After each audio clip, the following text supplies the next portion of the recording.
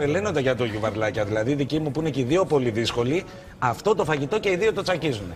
Ενώ δεν υπάρχει άλλο φαγητό που να συμπέσουν να πεις ότι τρώνε και δύο Για κάτι. πες καμιά ιδέα όμως, όση ώρα πλάθεις κουλουράκια, πες μου καμιά ιδέα για τα δύσκολα παιδιά με το φαγητό. Τι, τι δηλαδή, πώς προσπαθείτε να τα βάλετε και σε άλλα φαγητά; Γιατί κι εγώ με τη Δεν μικρή είναι- δύσκολη είναι με το φαγητό. Πώς χώνετε τα πράσινα. Θα να σου μην πω φαίνονται; κάτι.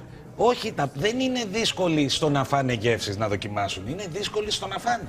Ενώ αν το αποφασίσουν ότι θέλουν να Το φάνε. ίδιο είναι και η δικιά μου. Οι γεύσεις μπορεί να φάει και τα πικάντικα Ναι, όλα. αλλά μέχρι να κάτσει να φάει. Αλλά δεν τρώει. Θέλουμε τρία τέταρτα για να τρώμε. Μου θυμίζει εμένα. το- Η μάνα μου πώς με άντεξε τόσα χρόνια. Κυνηγάς, Παναγία μου. παιδιά. Πόσο δύσκολο πράγμα είναι να μην σου τρώει το παιδί. Να και Να κάνει κάτι που δεν τρεις μπορώ να ώρες και να φανταστώ. μασάει. Δεν μπορώ να το φανταστώ ποτέ.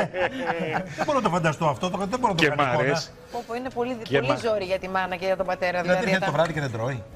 Όχι, δεν κατάλαβες. Τρεις ώρες σου λέω καθόμαστε εκεί και μασάει, μασάει. Λες και είναι τσίγλα. Μασάει, μασάει. Άντε, παιδάκι μου, άντε πάμε λίγο ακόμα. Τρία τέταρτα, αλλάζει χέρια το παιδί, κουραζόμαστε. Ναι, είναι Φεύγει ο τρέλα. ένας, μπαίνει ο άλλος. Είναι τρέλα και μ' αρέσει. κα- Ακούσει μια παιδοψυχολόγο